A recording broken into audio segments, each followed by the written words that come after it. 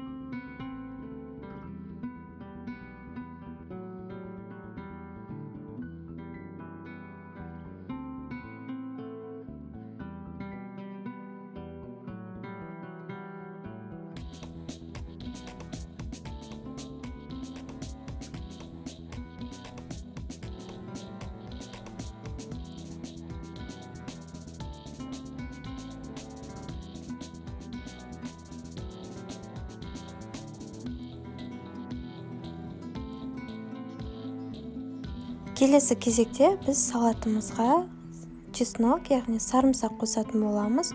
Оны арнайы езгіш арқылы еземіз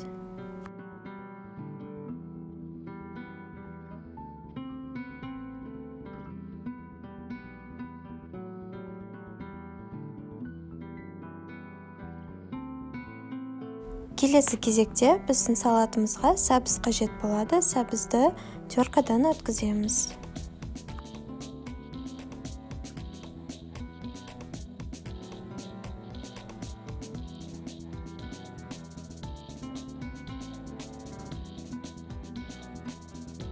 Теркадан өткізілген сәбіздерімізді салатымызға қосамыз. Келесі кезекте біздің салатымызға ашты бұрыш қажет болады. Оны видеода көрсетілгендей майда бөліктерге бөлеміз.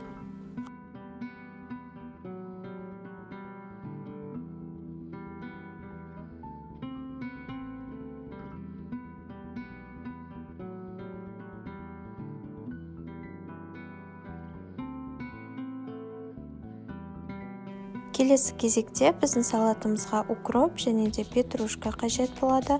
Оны видеода көрсетілгендей майдалап турап шығамыз. Салатымызға қосамыз. Енді салатымыздың үстіне жарты стакан сұйық май яғни күнбағыс майын қосамыз және де жарты стакан уксус қосамыз. Оның үстіне үш ас қасық тұз қосып барлығын жақсылап біркелкі етіп араластырамыз. Салатымызды араластырып болғаннан кейін оның бетін жауып оның үстін басып тұратын ауыр зат қоямыз. Осымен біздің салатымыз дайын. Осы рецепт бойынша жасап көріңіздер. Барлықтарыңызға ұнайды деген ойдамын. Ас болсын.